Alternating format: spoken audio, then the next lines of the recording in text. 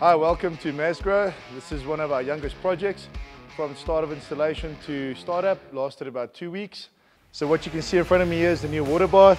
We've designed this to hold a lot less water so it drains a lot faster. We've got a pivot belt just to give us easy access for cleaning underneath. There is two fans on there to remove excess water for faster curing. And then we've got a three-stage filter system.